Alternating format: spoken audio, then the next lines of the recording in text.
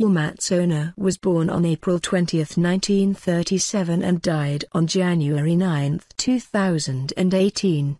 He was a Turkish author, theatre director and translator.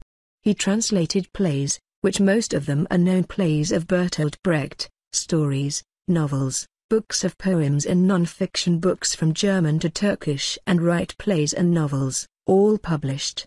As a director, he staged most of Brecht's works, in a theatre called Epic Theatre which he was one of the frontiers of this theatre movement in Turkey.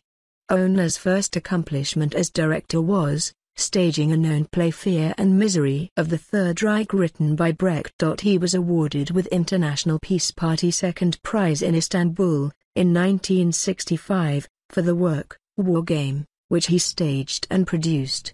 The piece was adapted from a radio play, Such a Piece, written by Sirmis Sagan.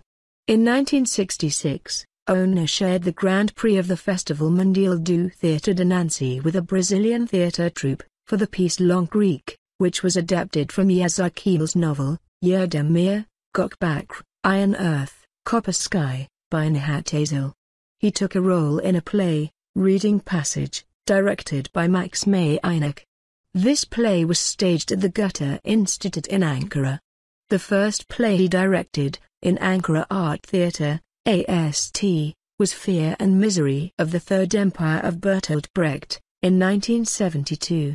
In 1973, he was invited by the ITI, German Center of the International Theatre Institute, as a guest student to participate on the urban stages of the city of Essen and Berlin. In 1974, he helped start a new theatre called the Contemporary Stage, in Ankara, where he, from 1975 to 1978, produced and directed plays, adapted from Nazım Hikmet's Yusuf and Menofis, Nihat Azil's Strike, and Gladkov's The Cement. He died at 80 years old.